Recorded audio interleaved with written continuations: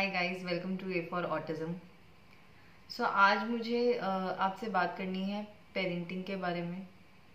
बहुत सारे लोगों को लगता होगा कि ऑटिज्म में जो पेरेंटिंग है, वो बहुत मुश्किल है, बहुत अलग है, बहुत फ्रस्ट्रेटिंग है, बहुत लॉन्ग जर्नी है और रिजल्ट्स नहीं मिल रहे हैं। क्या हमारी पेरेंटिंग बैड है? क्या हम अच्छे मॉम और डैड नहीं हैं?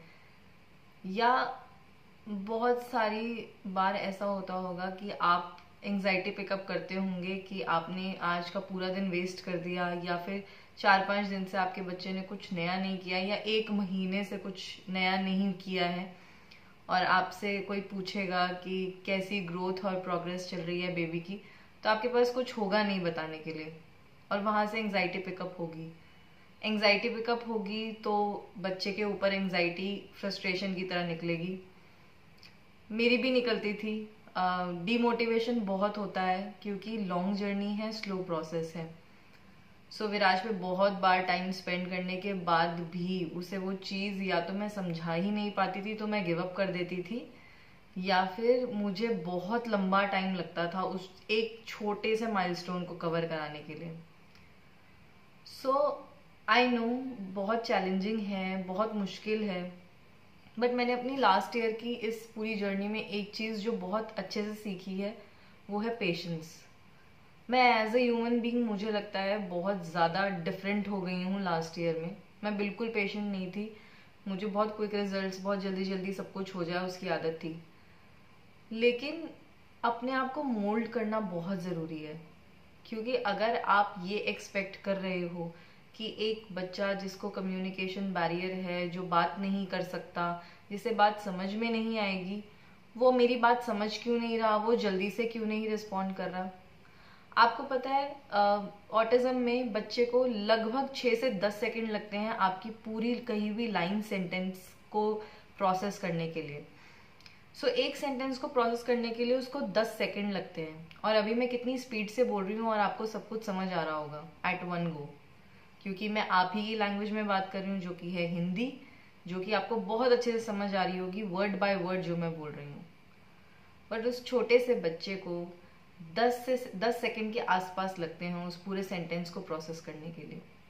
जब तक वो उसे प्रोसेस करता है, जितना भी समझ पाता है, हम नेक्स्ट सेंटेंस पे जंप कर जाते हैं। नेक्स्ट सेंटेंस पे जंप करते ही इतने सारे वर्ड्स हो जाते हैं कि बच्चा कंफ्यूज हो जाता है। और वहीं से स्टार्टिंग होती है शट डाउन की। वहाँ से स्टार्टिंग होती है, बच्चा इंटरेस्ट नहीं दिखाता, बच्चा रिस्पॉन्ड नहीं करता।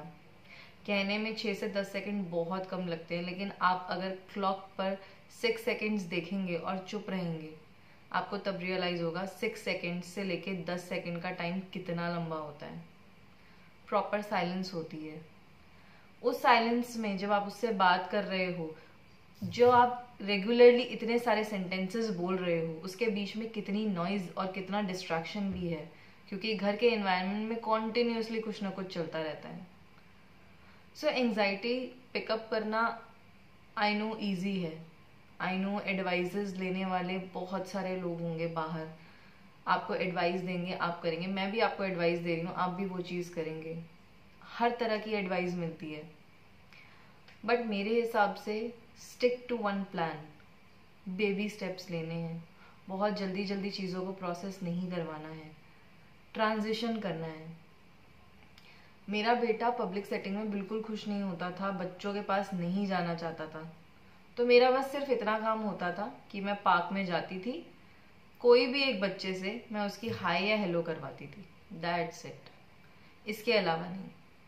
थेरेपिस्ट विराज की जो थी, उन्होंने मुझे एक चीज़ बोली थी कि आपको जितना शॉर्ट सेंटेंस बोलना है और जितना इजी सेंटेंस बोलना है, आपको वो कंसिस्टेंसी मेंटेन करके रखनी पड़ेगी।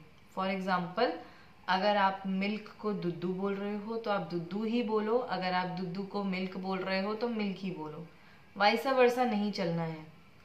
बच्चे के लिए उस एक वर्ड को माइंड में रजिस्टर करके उसे प्रोसेस करना नेक्स्ट टाइम इजी लगे। बहुत सारी लैंग्वेज नहीं यूज़ करिए, कम लैंग्वेज यूज़ करिए सेम लैंग्वेज यूज़ करिए। एक एग्जांपल देती हूँ। हम लोग नीचे वॉक पे जाते थे तो बास्केटबॉल कोर्ट आता है, नीचे सोसाइटी में है।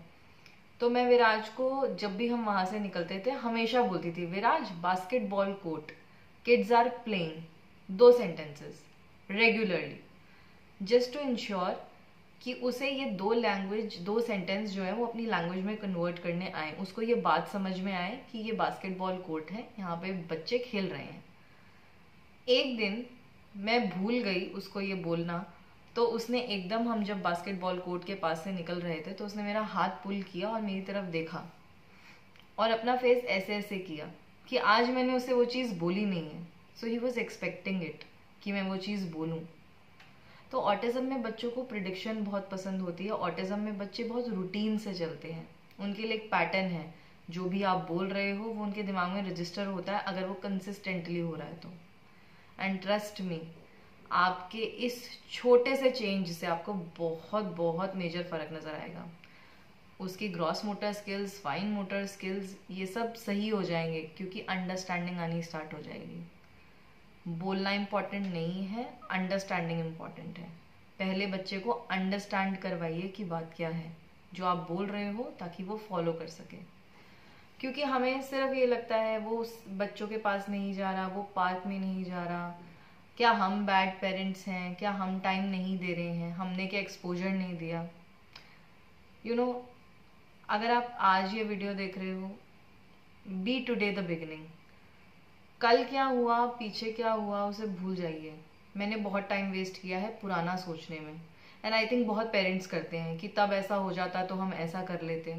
फॉरगेट इट जो हो गया लेट इट बी आपको फाइनेंशियली भी अपने आप को स्टेबल रखना है, आपको ऑफ़िस में भी काम करना है, आपको सारी चीज़ें मेंटेन करनी है। लाइफ रुकती नहीं है और हमें रोकनी भी नहीं है। क्यों रोकनी है? क्या हमारे बच्चे में कमी है? हम अपने बच्चे के साथ काम करेंगे तो हम क्यों नहीं उसे ट्रांजिशन कर पाएँगे? ये तो हमें करना है। हमें कोई चीज़ छोड़नी नहीं है। हमारी टेंडेंसी होती है, सबकी होती है आई थिंक कि जब भी कुछ नया इंट्रोड्यूस होता है लाइफ के अंदर तो हमें लगता है जो पुराना टफ पार्ट है, उसको छोड़ते हैं, नया पकड़ते हैं। बट लाइफ में ये सब ऑप्शंस को चूज़ करना इट्स नॉट ईजी अब की लाइफ में तो बिल्कुल नहीं है।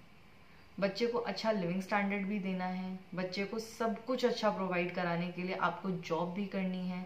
अगर आप जॉब नहीं कर रहे हैं हाउस मेकर हैं तो हाउस में भी बहुत सारा काम होता है। सब कुछ मैनेज करना है। आई नो बहुत फ्रस्ट्रेटिंग होता है। बहुत लड़ाई होती थी हमारी, क्योंकि बच्चे के ऊपर गुस्सा उतरता है, आप एंग्जाइटी पिकअप करते हो, बहुत सारी और चीज़ें चल रही होती हैं। आप हर जगह एक्सक्यूजेज नहीं दे सकते हर चीज़ के लिए। So if you are a parent और if you are going to be a parent trust me एक बेसिक फंडा जो मुझे लगता है बहुत काम आया मेरे केस में just stick to one plan एक प्लान पे काम करिए, एक टाइम पर एक चीज़ पर काम करिए करिए।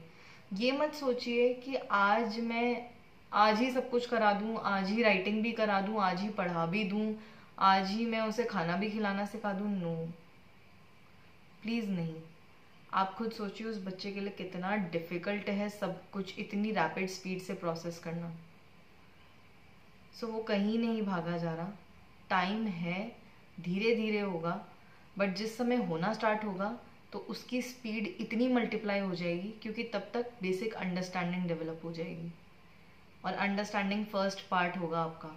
अंडरस्टैंडिंग आते ही आपको बच्चे की हर एक चीज़ में बहुत स्पीड नज़र आएगी। और अंडरस्टैंडिंग आएगी जब आप अपनी लैंग्वेज को कंट्रोल करके कंसिस्टेंट करके वेट करेंगे बोलने के बाद। सो so, मेरी तरफ़ से आप लोगों को बस यही एक पेरेंटिंग एडवाइस है। उन छोटे छोटे बच्चों की कोई गलती नहीं है कि उन्हें नहीं पता कि लैंग्वेज कैसे प्रोसेस करनी है या किस तरह से बोलना है। हम as an individual as an parent I think हमें ये समझने की ज़रूरत है कि it will take some time for them to process लगता है टाइम छः से दस सेकेंड लगते हैं बच्चों को प्रोसेस करने में। तो अगर लग रहे हैं तो क्या प्रॉब्लम है? क्या हम उन्हें छः से दस सेकेंड नहीं दे सकते एक बात को समझने के लिए? क्या हम रोज़ कंसिस्टेंट लैंग्वेज नहीं यूज़ कर सकते बच्चों के साथ?